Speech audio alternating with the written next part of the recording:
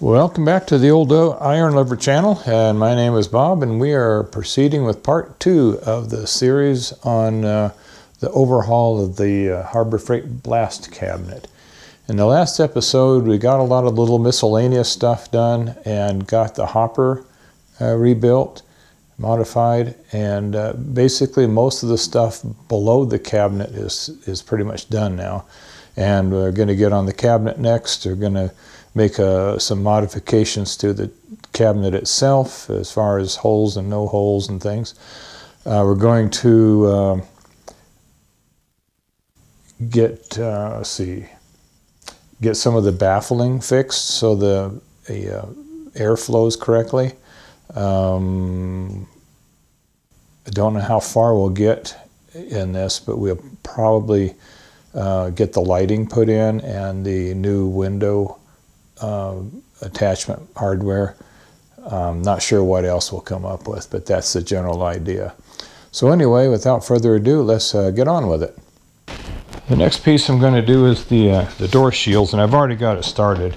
Basically, there's the, the door, and this is the inside of the door. There's a bunch of recesses and things in here that catch stuff. So this is to smooth it all out so the, the media just comes flying down off of here. I had to trim it out a little bit right here on the corners uh, so it fit nicely in there. And I'll come along and caulk all these edges so nothing gets in behind it.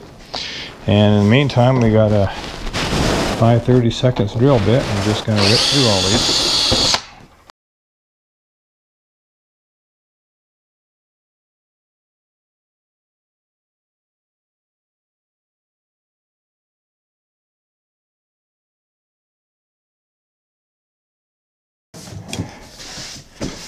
Okay, that shield is in. It's kind of open on the bottom, but all the way around the tops of all these and the sides, I'm going to caulk them. We'll get to that later on. And since I'm done with this, I'm going to go ahead, just in the interest of not losing track of the parts, I'm going to go ahead and put the uh, uh, hinge back on.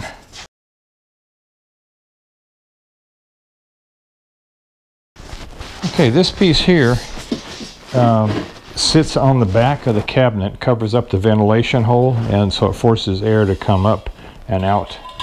Uh, originally, I think they Harbor Freight had it designed as an as an air inlet.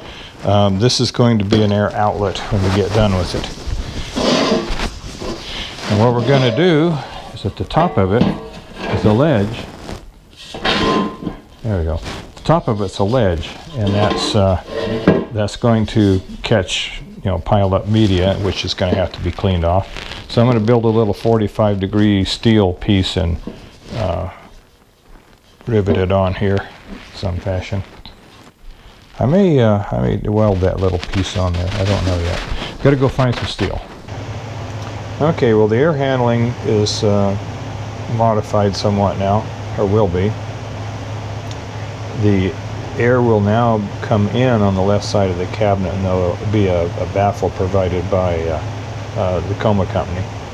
And it will go across the cabinet and into the right rear where this baffle which was originally there uh, and the uh, air will go in here and out through a, a gated uh, hole in the back of the cabinet. And what I did is I added this beveled piece on here so any uh, grinding media, dust, whatever gets on here, it'll just flop, fall off and down into the hopper. It won't be a, a ledge to catch things.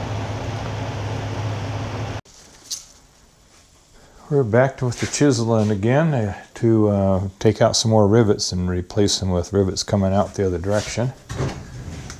So take the heads off of a couple and replace them and then take the heads off a couple more and so on.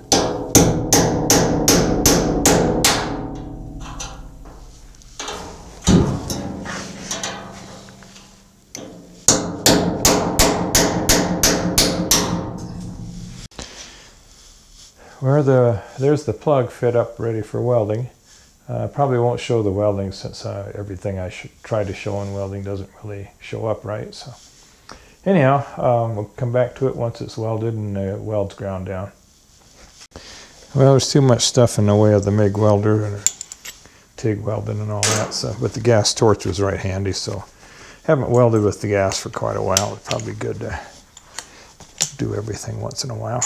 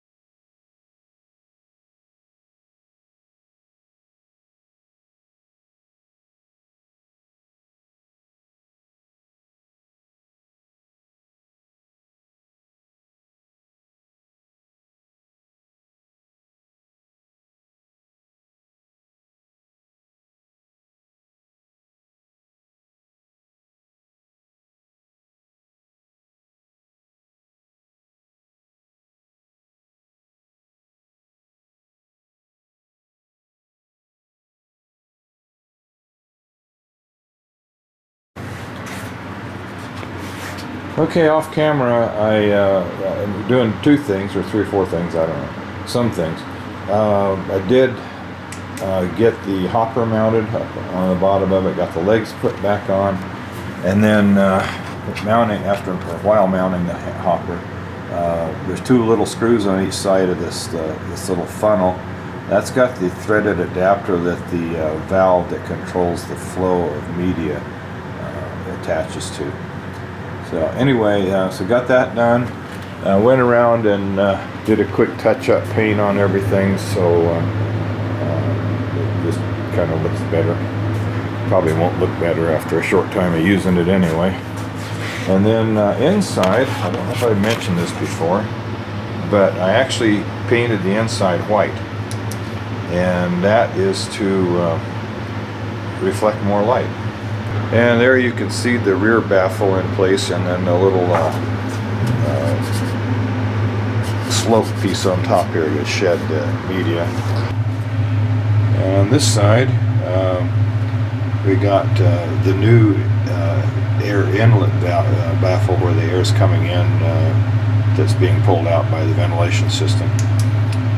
So, got the little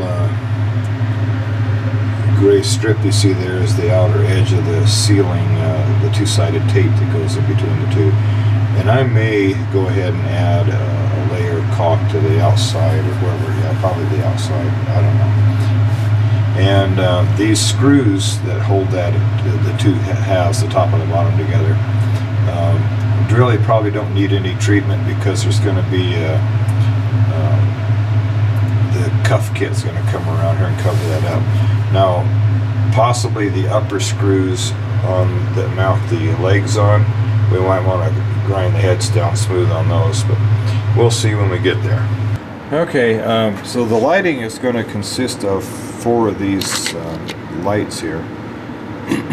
They're fairly bright. They're intended to be backup lights on a truck or a trailer. They are uh, about, well, I'd say about six inches long couple inches wide on the, the other than the flange it mounts on. Everything is sealed underneath. Um, so it should be pretty good and it's shaped so it should, since they're going to be mounted up under the top of the cabinet like that. Uh, so they'll be mounted up under the top of the cabinet so it should shed, uh, shed the uh, media dust pretty well. Going to be powered by a used uh, computer power supply and um, it's going to have a switch here to turn it on and off. Each light's going to have its own set of uh, 12 volt feeds to it, and that's just mostly because of wire size. I just want to make sure I have enough wire size. And just to finish it off, there's going to be a, a little pilot light to tell me the power's on to the power supply. The plan right now is to put one light up under here and uh, I created a little paper template so there's the two mounting holes and the square cutout for the wires coming off of the back of it. So there'll be a light sitting here, one on the other side, and then either a pair sitting up here or maybe across here. And what I'm going to do is put the two side lights on and then uh, get them lighted up and see what, you know, how they look. And then uh, I'll get the, uh, with my hands in there and the lights turned out in the shop and everything, I'll get the, uh, the other two, just kind of hold them in place and move my hands around in the gloves and things to see what kind of shadows and things happen from it. So anyway, um, there'll be a little bit of experimentation, but ultimately there'll be four of those lights mounted inside of here. Okay, I'm making a, made a template at the bottom of the lights and uh, laid it out so. And I used my step drill to cut the basic holes there, and I'm gonna take the Dremel and clean up the, uh, piece between the holes. And I may, actually, I think I may take it down one more notch. Seven sixteenths, I may go down to half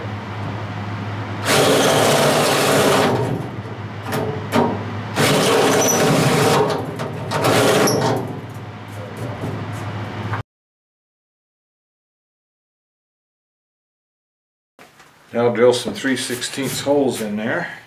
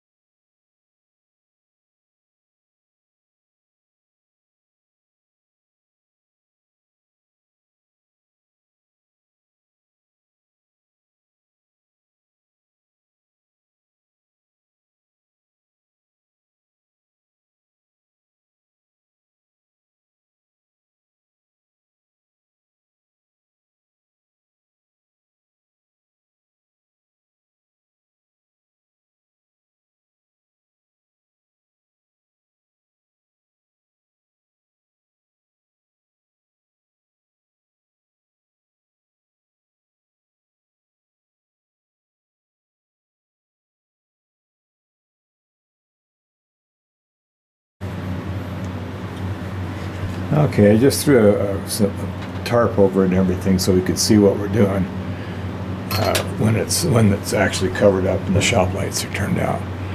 Got uh, pretty good visibility in here. I think it's actually going to work pretty well.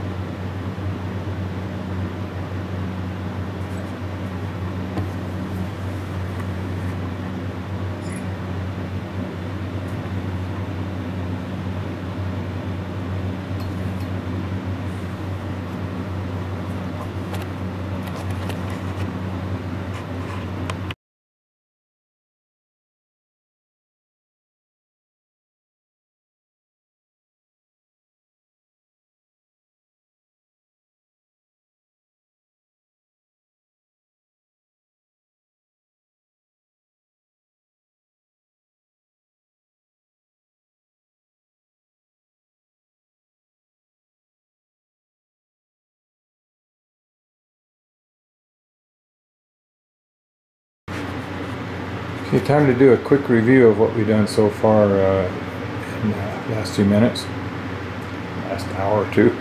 Uh, number one is I got the uh, shelf down here put back on. Not a big deal, just eight bolts. Uh, got the wiring all kind of mocked up going over to the power supply.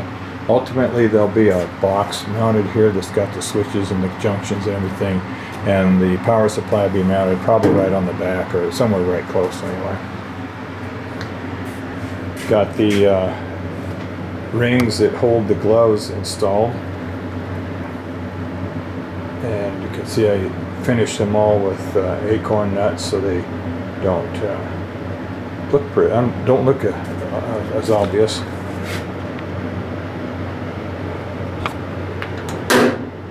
Got the uh, door latch installed. Door hinge installed. And all of the uh, trimming down around the edges here so it would slide in slide into the opening smoothly. Got the uh, weather strip put in. It's a little thick, but the, the, the gap is not real even. The door swings out just a little bit, goes out right here. But when you squeeze it all in tight with the latch,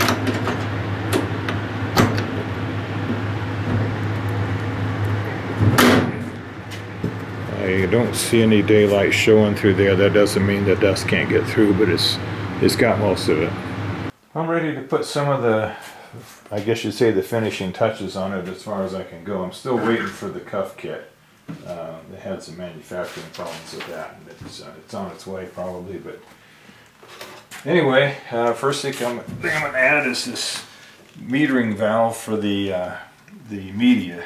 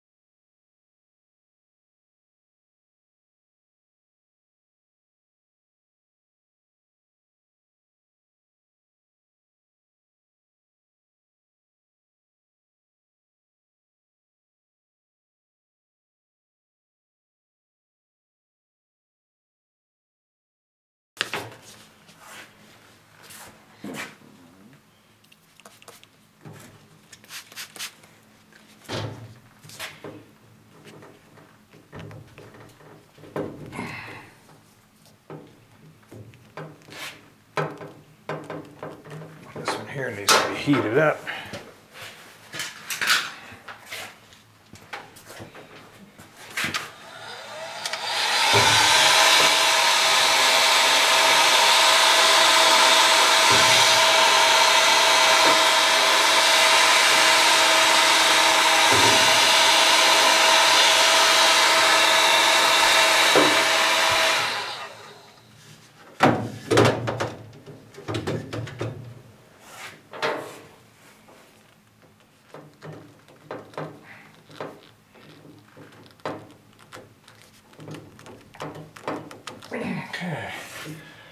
Nozzle's in. That took care of that piece. Now my plan is to have the dust collection system on the right side of it. It's fairly low, it's a Donaldson box, it's about this high. And so the door will clean, clear it and everything. And it'll be a little short hose then too.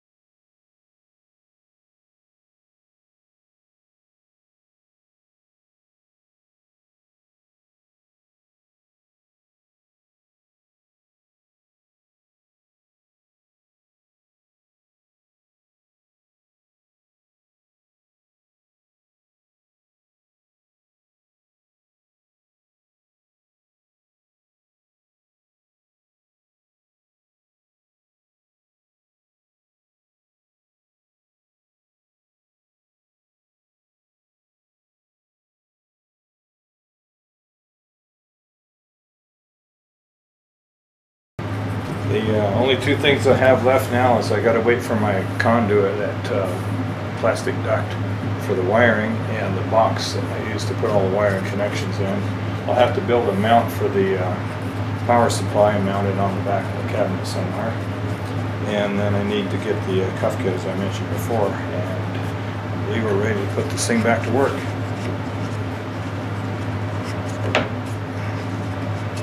I'm gonna come right off of my air supply, so I don't have any restrictions coming into it. Um, the uh, air throughout the shop is three quarter inch. And I've got four drops, I think, around the shop. And uh, they all have valves on them to shut them off. And I think I'll do the same thing here. I'll put a valve on it. But it'll be a piece of half inch hose coming over to the regulator.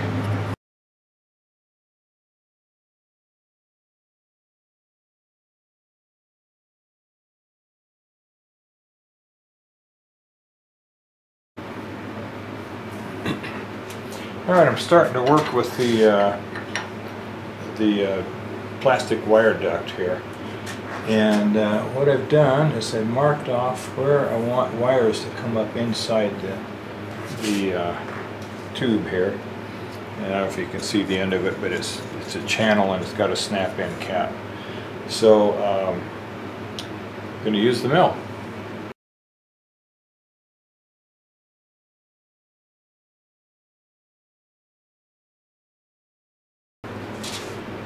So that's uh, that's what we got. There's a little uh, adhesive strips on the back. Okay, I got the first strip laid in here. I just uh, put these in place so I can see about where they need to be.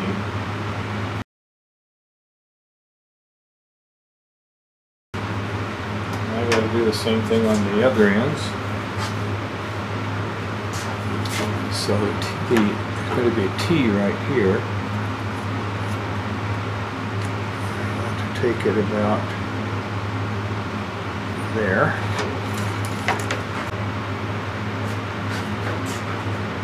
Okay, I got the left one stuck down and I'm ready to do the right one.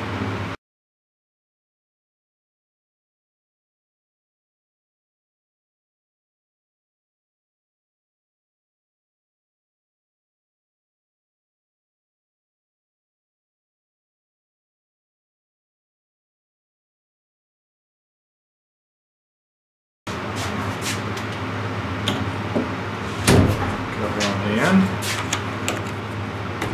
Cover on the end. You know, I think that looks pretty darn nice.